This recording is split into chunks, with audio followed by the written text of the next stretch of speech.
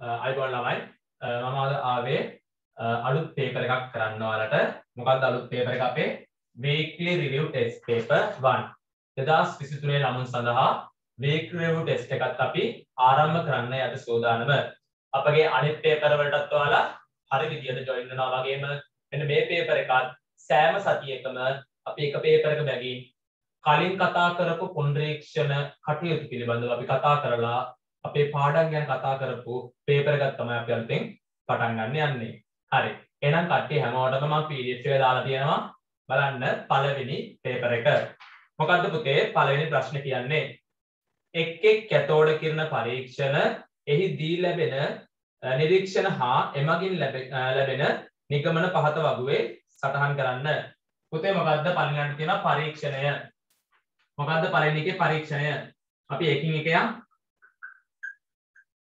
පරීක්ෂණය තමයි පුතේ. මොකක්ද කියන්නේ පළවෙනි පරීක්ෂණය? කැතෝඩ කිරණ ගමන් මාර්ගයේ හබල් සකක් ලැබීම. මොකද පුතේ කියන්නේ පළවෙනි පරීක්ෂණය? කැතෝඩ කිරණ ගමන් මාර්ගයේ හබල් සකක් තියනවලු.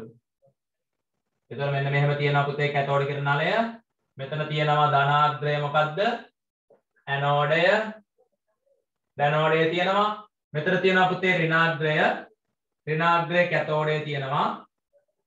එතකොට මොකද වෙන්නේ? මෙන්න මෙයාලා අපි විභවාන්තරයකට ලක් කරාට පස්සේ මෙන්න මේ විදිහට කැතෝඩේ ඉඳන් ඇනෝඩේ දක්වා කිරණ එනවා. එතකොට අපි ඒකෙන් හබල් සකක් තිබීම තමයි දැන් පළවෙනියටම කරේ. එතකොට මොකද වෙන්නේ? එතකොට අපි නිරීක්ෂණය කරලා ලියන්න ඕනේ මොකද වෙන්නේ? මොකද කිව්වේ? කැතෝඩ කිරණය හදලා නලය හදලා එතනින් මොකද කරන්නේ? හබල් සකක් සැහැල්ලු තිබ්බා. එතකොට මොකද්ද පුතේ ඔයාලගේ නිරීක්ෂණය වෙන්නේ? කියන්න බලන්න. ආ මොකද වෙන්නේ? මේ හබල්සක පුතේ මොකද වෙන්නේ? භ්‍රමණය වෙන්න පටන් ගන්නවා. ලියන නිරීක්ෂණය හබල්සක භ්‍රමණය වීම. නිරීක්ෂණය මොකද්ද පුතේ? හබල්සක භ්‍රමණය වීම. ඇයි මේ හබල්සක භ්‍රමණය වෙන්නේ?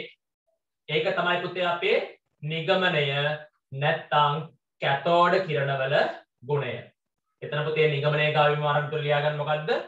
කැතෝඩ කිරණවල ගුණ. හරිද? එතකොට මොකද්ද පුතේ මෙහෙම කැතෝඩ කිරණාලයක් සම්බන්ධ කරලා ඒකට සැහැල්ලු හබල්සකක් දැම්මහම කැරකෙන්න තියෙන හේතුව. මොකද්ද ගුණය? ආ මොකද වෙන්නේ? මේ කැතෝඩ කිරණ වලට පුතේ කැතෝඩ කිරණ වලට ස්කන්ධයක් තියෙනවා. ස්කන්ධයක් තියෙනවා. ඊට අමතර පුතේ චාලක ශක්තියක් තියෙනවා. අන්න ඒක නිසා තමයි වෙන්නේ මොකද්ද පුතේ? කැරකීමට ලක් වෙන්නේ. ලියා ගන්න ගුණය කැතෝඩ කිරණ වලට කැතෝඩ කිරණ වලට ස්කන්ධයක් සහ ස්කන්ධයක් සහ ස්කන්ධයක් සහ චාලක ශක්තියක් පැවතීම. චාලක ශක්තියක් පැවතීම. හරි. පුතේ අපි දෙවෙනි පරීක්ෂණ පරීක්ෂණයට යමු. දෙවෙනි පරීක්ෂණයට යමු. බලා ගන්න හොඳට පුතේ දෙවෙනි පරීක්ෂණය මොකද කියන්නේ කියලා බලමු. මොකද කියන්නේ? කැතෝඩ කිරණ ගමන් මාර්ගයේ දෘඩ වස්තුවක් පුරුෂයක් තැබීම. අපි ටීම් ටක් ගාලා මෙන්න පුතේ කැතෝඩ කිරණ නලය. මෙන්න මෙතන තියෙන පුතේ මෙන්න මේ වගේ වස්තුවක් තියෙනවා. මෙන්න මේකට අපි කියනවා කැතෝඩය. කැතෝඩය. මෙන්න මේකට කියනවා පුතේ අපි ඇනෝඩය. හරිද? මෙන්න මේ කැතෝඩ කිරණ ගමන් ගන්නා මාර්ගයේ අපි ලෝහමය කුරුසියක් වගේ ලෝහමය කුරුසියක් වගේ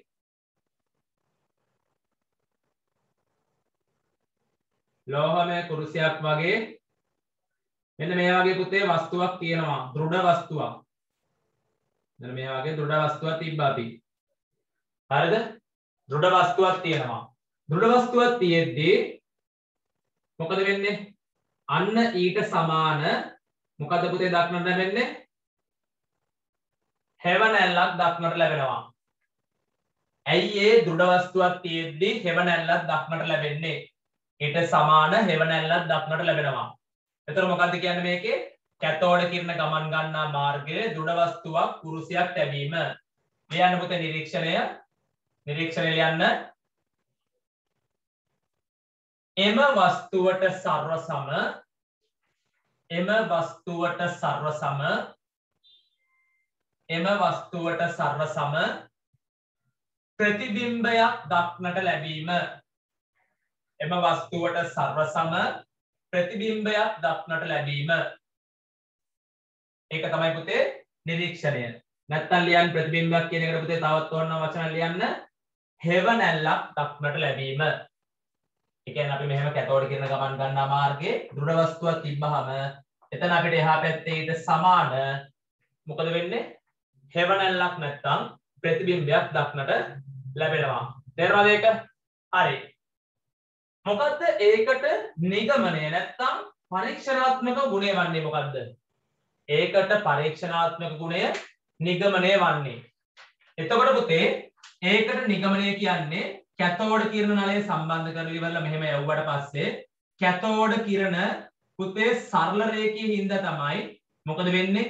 ඒ වස්තුවට සර්ව සම මොකද වෙන්නේ? ප්‍රතිබිම්බයක් ලැබෙන්නේ. ඒක පුතේ මොකද වෙන්නේ?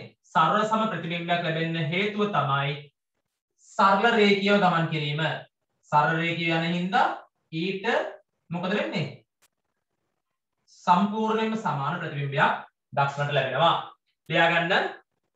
ඒකේ පුතේ කැතෝඩ කිරණ ගුණය ලියාගන්න. නැත්තම් නිගමනය කැතෝඩ කිරණ. කැතෝඩ කිරණ වල ගමන් මාර්ගය කැතෝඩ කිරණ වල ගමන් මාර්ගය. කැතෝඩ කිරණ වල ගමන් මාර්ගය. සරල රේඛීය වේ. සරල රේඛීය වේ. කැතෝඩ කිරණ වල ගමන් මාර්ගය සරල රේඛීය වේ. හරිද? හරි. පුතේ අපි බලමු තුන්වෙනි පරීක්ෂණය. තුන්වෙනි පරීක්ෂණය. හොඳට පුතේ මේව අහගෙන ඉන්න. අපි උගන්වලා තියෙන මෙව්වා. තුන්වෙනි පරීක්ෂණය. මොකද්ද පුතේ තුන්වෙනි පරීක්ෂණය? මොකද්ද කියන්නේ?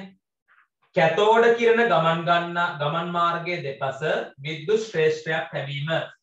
පුතේ අපි ඔක් කරා. මෙන්න මේ කැතෝඩ කිරණ අපි සම්බන්ධ කරනවා පුතේ ඇනෝඩ එකටයි ඇනෝඩයකටයි ඇනෝඩය ධනාග්‍රය කැතෝඩය කැතෝඩය රිනාග්‍රය මම සම්බන්ධ කරලා පුතේ විභවන්තරයකට සම්බන්ධ කරනවා. ඔන්නෝම විභවන්තරයකට සම්බන්ධ කරනවා. එතකොට මේ කැතෝඩ කිරණ ගමන් මාර්ගයේ දෙපස අපි මෙන්න මෙතනින් තියනවා පුතේ. මොකද්ද? ධන විද්‍යුත් ශ්‍රේෂ්ඨයක් ඍණ විද්‍යුත් ශ්‍රේෂ්ඨයක්. ධන විද්‍යුත් ශ්‍රේෂ්ඨයක් වෙන විද්‍යුත් ශ්‍රේෂ්ඨයක් තිබ්බහම මෙන්න මේ කැතෝඩ කිරණ කැතෝඩ කිරණ. මොකද වෙන්නේ? මේ කැතෝඩ කිරණ පුතේ ධන අග්‍රය දෙපැත්තට මොකද වෙන්නේ? මෙන්න මේ වගේ ගමන් කිරීම පටන් ගන්නවා. විද්‍යුත් ධනාග්‍රයට ගමන් කිරීම පටන් ගන්නවා. ලියාගන්න.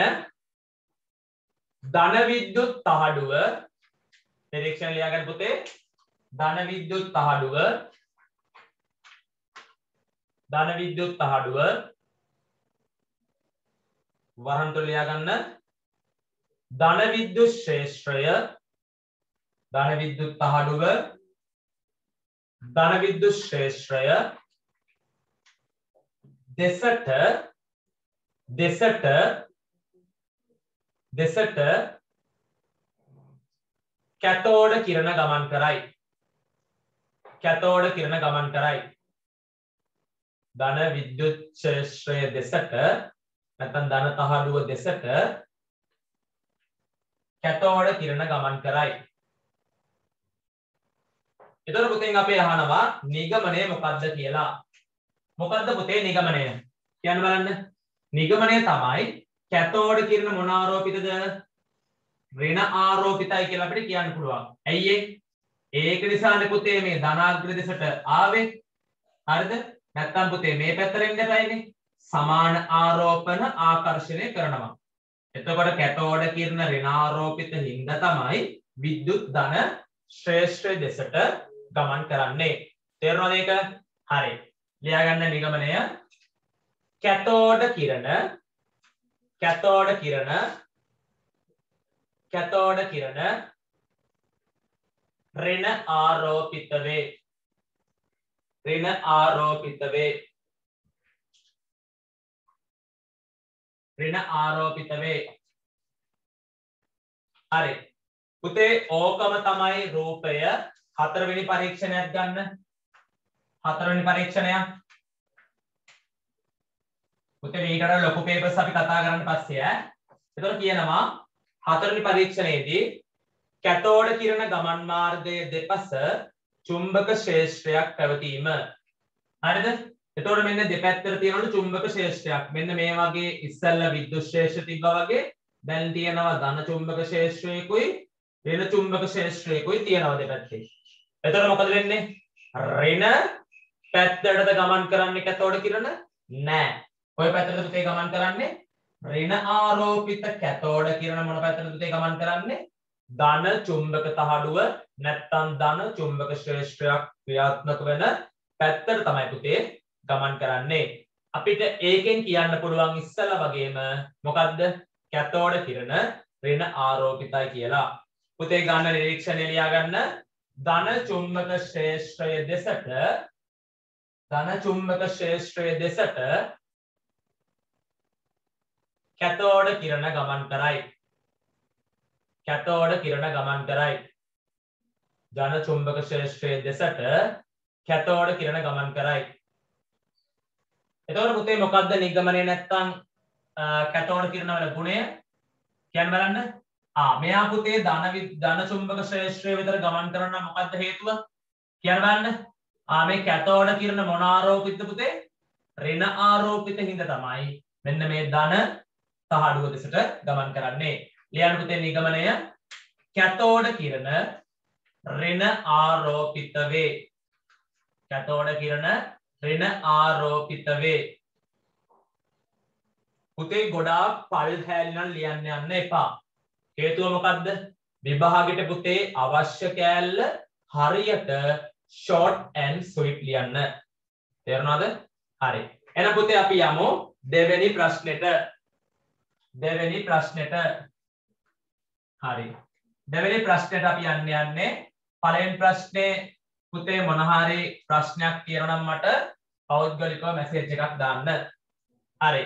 දැන් තියෙන්නේ අපි දෙගොල්ලෝ එකතු වෙලා අපි ඉගෙන ගත්ත තියරි එක මෙන්න මෙතන හිස් තැන් පුරවන්න. පුතේ බලන්න පහත ඡේදයේ හිස් තැන් පුරවන්න.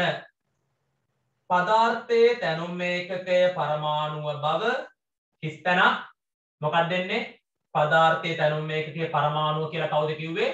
ලියාගන්න පළවෙනි හිස් තැනේ ජෝන් ඩෝල්ටන් පළවෙනි හිස් තැන ලියන්න පුතේ ජෝන් ඩෝල්ටන් ජෝන් ඩෝල්ටන් මම ඒ කියලා පුරෙන් දාන්නම් ඈ. ජෝන් ඩෝල්ටන් තමයි පුතේ පදාර්ථයේ තැනුම් ඒකකයේ පරමාණුව බව ඉදිරිපත් කරේ. ඊට පස්සේ පුතේ බලා ගන්න පළවෙනි ස්තන පුරවගෙන යමු. පදාර්ථයේ තැනුම් ඒකකයේ පරමාණුව බව ජෝන් ඩෝල්ටන් විසින් ඉදිරිපත් කර මොකද්ද පුතේ? පරමාණුක වාදයෙන් ජෝන් ඩෝල්ටන් ඉදිරිපත් කරේ මොකද්ද? පරමාණුක වාදයෙන් පරමාණුක වාදයෙන් එතකොට පුතේ දෙවෙනි එකට උත්තරේ එන්නේ පරමාණුක පරමාණුක වාදයෙන් හා ඔහුගේ පරමාණුක ආකෘතිය වෙන මොකක්ද පුතේ?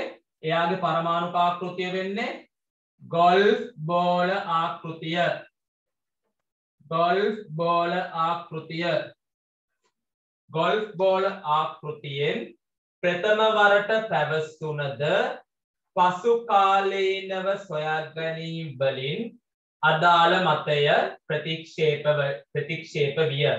හරිද? හොඳට බලාගන්න. මේ වන විට පරමාණුව තුල දැන් මෙයා කියේ පුතේ පරමාණුව තමයි තැනුම් මේකකේ කියලා. හරිද? ඊට පස්සේ එයාගේ අදහස බිඳ වැටෙනවලු. ඊට පස්සේ පුතේ බලන්න මේ වන විට පරමාණුව තුල හිස්තැනක් අංශු විශාල සංඛ්‍යාවක් මොකද්ද පුතේ එන්නේ උප පරමාණුක D එකට එන්නේ උප පරමාණුක අපි දන්නවා පරමාණු තුළ තියෙන මොනවද උප පරමාණුක අංශු උප පරමාණුක අංශු විශාල සංඛ්‍යාවක් ඇති බව අනාවරණය කර ඇති අතර හිස්තැනක් හිස්තැනක් හිස්තැනක්. හිස්තැනක් හිස්තැනක් හිස්තැනක්. මොකක් තියෙන්නේ? ඉලෙක්ට්‍රෝන ඉලෙක්ට්‍රෝන. මොනවද ප්‍රධාන වශයෙන් තියෙන්නේ? ප්‍රෝටෝන නියුට්‍රෝන ඉලෙක්ට්‍රෝන ප්‍රෝටෝන නියුට්‍රෝන ඒ අතරින් ප්‍රමුඛ වේ. අපි දන්නවානේ පරමාණුව කියන සංකල්පය ඇතුළේ තියෙනවා මොකද්ද? උපපරමාණුක අංශු. ඔය උපපරමාණුක අංශු තුල ප්‍රධාන වශයෙන්ම තියෙන මොනවද? ඉලෙක්ට්‍රෝනයි ප්‍රෝටෝනයි මොනවද?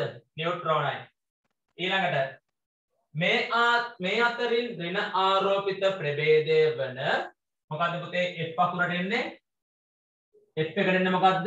ඍණ ආරෝපිත ප්‍රභේදය වන මොකද්ද මේ කට්ටිය ඍණ ආරෝපිත වෙන්නේ? ඉලෙක්ට්‍රෝනය. ඉලෙක්ට්‍රෝන ඍණ ආරෝපිතයි. ප්‍රෝටෝන ධන ආරෝපිතයි.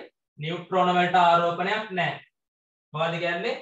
ඒ අතරින් ඍණ ආරෝපිත ප්‍රභේදය වෙන ඉලෙක්ට්‍රෝන අනාවරණය කිරීම. G අකුරෙන් කවුද පුතේ කරේ? ඉලෙක්ට්‍රෝන අනාවරණය කරේ? JJ Thomson JJ Thomson JJ Thomson විසින් සිදු වුවද එහි නම ලබා දීම සිදු වී ඇත්තේ ඊට ඉහතදී කවුද පුතේ ඉලෙක්ට්‍රෝන නම කිව්වේ? අපි කලින් පේපර්ස් තුනකම කතා කරා අපේ පේපර් ඩිස්කෂන් සඳ කරන ක්ලාස් තුනේම කතා කරා කවුද ඉලෙක්ට්‍රෝනය කියන එකේ නම තිබ්බේ? කවුද පුතේ? H එක ජොන්ස්ටන් ජොන්ස්ටන් J ස්ටෝනි කියන විද්‍යාඥයා තමයි පුතේ ඉදිරිපත් කළේ. එතකොට විසිනි. ඉලෙක්ට්‍රෝනයේ ගුණ අනාවරණය වීමට පදනම වූ කැතෝඩ කිරණ නලය ආශ්‍රයෙන් කැතෝඩ කිරණ නලය සොයා ගැනීමේ ගෞරවය හිමිවන්නේ කවුද පුතේ? ඉලෙක්ට්‍රෝන ගුණ අනාවරණය වීමට පදනම වූ කැතෝඩ කිරණ නලය ආශ්‍රිතයෙන් කැතෝඩ කිරණ නලය නලය සොයා ගැනීමේ ගෞරවය හිමිවන්නේ කාටද පුතේ ඊ බෙදීමෙන් අනුපාතය හොයාගත්තේ නම් ජේ.ජේ තොම්සන් තේරුණාද? ඒ කියන්නේ කැතෝඩ කිරණය පුතේ කැතෝඩ කිරණය කියන්නේ කැතෝඩය පිළිබඳ පුතා පරීක්ෂණ කරා. මොනවද මේ ಗುಣ සම්බන්ධව පරීක්ෂණ කරේ කවුද? ජේ.ජේ තොම්සන් යාළුවගේ පරීක්ෂණයෙන් කරා. හරිද? එතකොට මොකද්ද මේකෙන් අහන්නේ? ඉලෙක්ට්‍රෝනයේ ಗುಣ අනාවරණය වීමට පදනම වූ කැතෝඩ කිරණ නලයෙන් ආශ්‍රිත කැතෝඩ කිරණ නලය සොයා ගැනීමේ ගෞරවය හිමිවන්නේ මේකෙන් අහන්නේ ඉලෙක්ට්‍රෝන ගුණ සොයා ගැනීම කෙනා නෙමෙයි. සොරි මේ කැතෝඩ කිරණ වල ගුණ සොයා ගැනීම කියන නෙමෙයි. මෙන්න මේ ඉලෙක්ට්‍රෝනයේ ගුණ කියන කැතෝඩයේ ගුණ සොයාගන්න කැතෝඩ කිරණේ මුලින්ම ඉපදුවේ කවුද කියලා. සිංහල පැහැදිලි වෙන්න. හරිද? මොකද කියන්නේ? ඉලෙක්ට්‍රෝනයේ ගුණ ආවර අනාවරණය වීමට පදනම වූ කැතෝඩ කිරණ නලය ආශ්‍රිතයෙන් කැතෝඩ කිරණ නලය සොයා ගැනීමේ ගෞරවය හිමිවන්නේ කාටද පුතේ? විලියම් ක්‍රෝස්ටර්. විලියම් ක්‍රෝස්ටර්. ගොඩක් කට්ටිය පුතේ මේකට උත්තරේ දාලා තිබේ මොකද්ද? ජේ.ජේ තොම්සන් කියලා ලියලා තිබ්බා. ඇත්ත. ඉලෙක්ට්‍ර කැතෝඩ කිරණ වල ගුණ හොයාගත්තේ කවුද පුතේ? කැතෝඩ කිරණ නලය අරගෙන ඉලෙක්ට්‍රෝනයේ ගුණ හොයාගත්තේ කවුද පුතේ? කවුද ජේ.ජේ තොම්සන් ඒවට මේකේ සිංහල ප්‍රශ්නයක් තියෙන්නේ. කැතෝඩ කිරණ නලය ආශ්‍රිතයෙන් කැතෝඩ කිරණ නලය සොයා ගැනීමේ ගෞරව හිමිවන්නේ කාටද? විලියම් ක්‍රෝස්ටර් නම් විද්‍යාඥයාට වේ.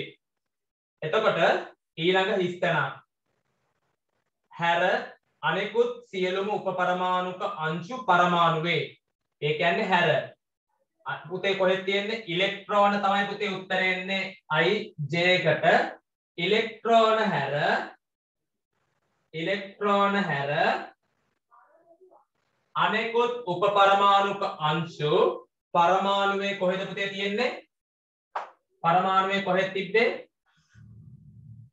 න්‍යෂ්ටියේ පරමාණුවේ කොහෙද පුතේ තියෙන්නේ?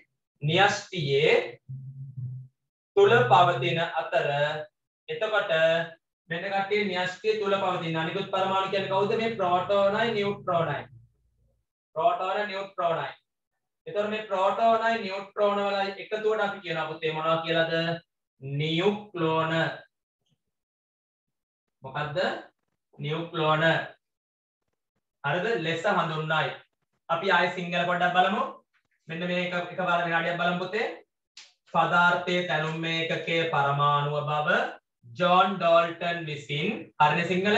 ජෝන් ඩෝල්ටන් විසින් ඉදිරිපත් කළ ඉදිරිපත් කළ පරමාණුක වාදයෙන් හා ඔහුගේ පරමාණුක ආකෘතිය වන ගොල්ෆ් බෝල ආකෘතියෙන් ප්‍රථම වරට පැවසුවද පසුකාලීනව සොයා ගැනීම් වලට අදාළව මතය ප්‍රතික්ෂේප විය. මේ වන විට පරමාණුව තුළ මොනවද තියෙන්නේ? උප පරමාණුක අංශු විශාල සංඛ්‍යාවක් ඇති බව අනාවරණය කර ඇති අතර ඒවා ටිකෙන් පුතේ ප්‍රධාන වශයෙන් තියෙන මොනවද? ඉලෙක්ට්‍රෝන, ප්‍රෝටෝන සහ නියුට්‍රෝන ඒ අතරින් ප්‍රමුඛ වේ. මේ අතරින් ඍණ ආරෝපිත ප්‍රභේදය වෙන්නේ කවුද?